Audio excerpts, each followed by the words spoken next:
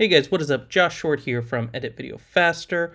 Uh, welcome to another lesson here on this channel. Uh, this lesson, uh, do I want to do something a little bit different. I just want to walk you through the fundamentals of Adobe Media Encoder. I'm working in Adobe Media Encoder 2023. Honestly, all this stuff has been the same for like the past eight years. Uh, I think that's about how long I've been using um, Encoder and Premiere. Been using After Effects for 14 15 years, if I'm doing my math correct. So been at this uh, quite a while, and honestly, it, it's um, this is a great tool, but it, it, doesn't make a lot of sense intuitively. So just want to walk you through the couple things that you need to know if you're going to be editing videos or just, you know, kind of messing around with some files here in Media Encoder. So um, Media Encoder, it is a standalone app. Uh, a lot of you will access it through Premiere or After Effects by sending your videos over to here. Uh, also, you can just open up the app and throw a file in here, which is what we're going to work through,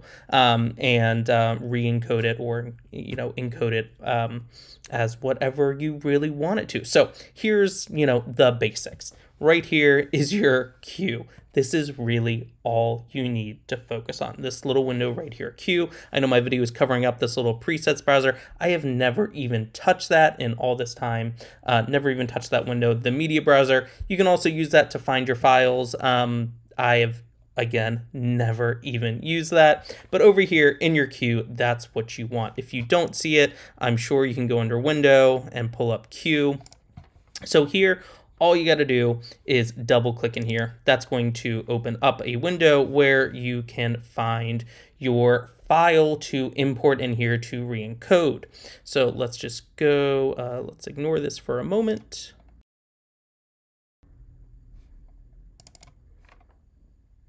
Okay, uh, I just pulled in some random um, tutorial I have that I made a long time ago. It is an MP4, um, but it doesn't really matter. Maybe you're bringing in a, a QuickTime uh, movie, you know, .mov, or a WAV file that you need to turn into an MP3. That's really common. I do that. I have to do that one a lot uh, for a company that I work for.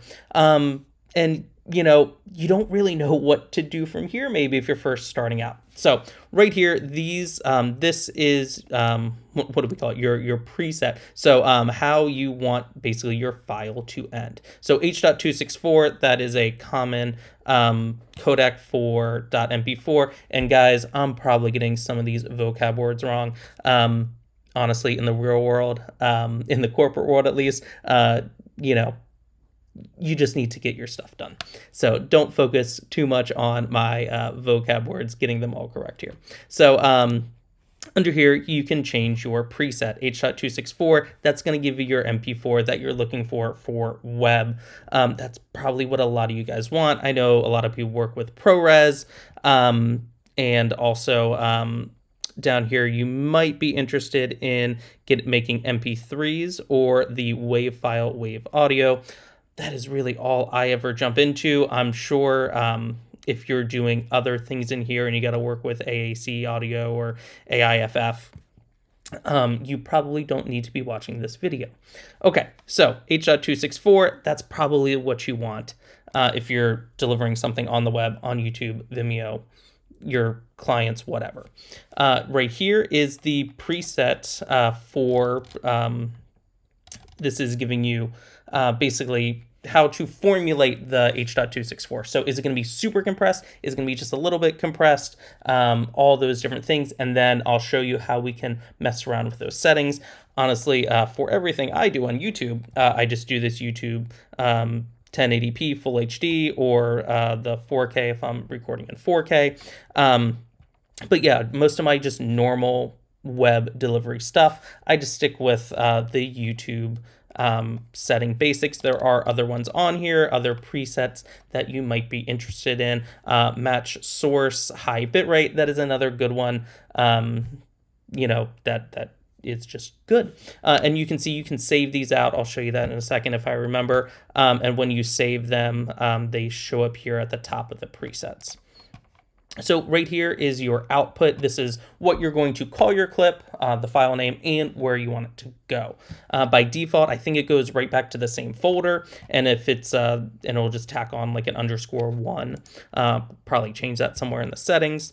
Um, so here, you know, open up this window. Uh, and then if you're on a Windows uh, PC, um, you know, you're, you're looking at, you know, just the Windows version of this where you can rename it, um, renamed clip for tutorial.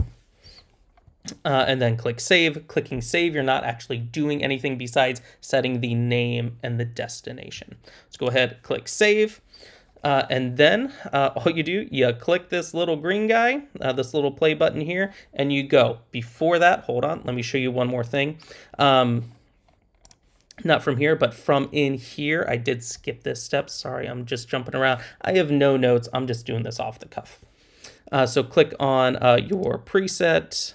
And then here, uh, you can do uh, a couple of things. Uh, so this is where you modify the settings. So you can change the output name and location here, just like you know I did a second ago. Uh, over here, you can click this and it's going to pop open the same thing. Um, you can, again, you can change the format. That was the word I was looking for earlier. And the preset, you can change that from here as well. Um, and then down here, if you have specific settings that you need to deliver, um, you know, if it's 1080 by 1080, if it's a square video, you can do that here. You can change that. Uh, you can change the, um, um, you can change anything that, you know, isn't grayed out here. Um, so, but nine times out of 10, you don't need to mess with anything. Uh, the one thing that you might need to putz around with is down here under bitrate settings. If your video is going to be too big and it gives you this awesome estimated file size down here, you know, 267 megabytes. Let's say I only have 200 megs left on my fr my free uh, one gig Frame.io account or two gigs, whatever it is. I can go here, I can change rate. Let's drop down to 12. Oh, I'm just shy. So you can click in there and change that. Okay, 193. Awesome if I need to trim a video, uh, and this is something um, you know I do recommend a lot of you know non-editors to do instead of being inside a daunting um, Premiere Pro uh, for a you know uh, non-editor. Down here is basically our whole our whole video and sorry if you're seeing me a bunch of times on screen uh, we can take this little slider here and that's going to trim our video so we don't do the entire thing. So if we just want to export just this amount, and then uh, we can do that. Uh, and then, you know, you can take this little guy and scrub it so you can see your video. All right, when you're done, click OK. Boom. Uh, and now, one last time, go ahead, click this little green button. Da, da, da. And you saw down here, that's the little encoding window that just gives a preview of what is being done. And now, give me one second, let me go find that video. All right, here we are. Here is my rename clip for tutorial.mp4. Uh, and yeah, that is it, guys. Um, I know I flew through things here in this little um, Adobe Media Encoder um, you know, what you need to know video. If you have questions, leave them below. I will try my best to answer them. If you like this video, want to see more videos like this one, give it a thumbs up. If you want to, if you have any specific questions for stuff, you know, outside of uh, this topic, leave that below too. Uh, maybe I'll make a video on it as well.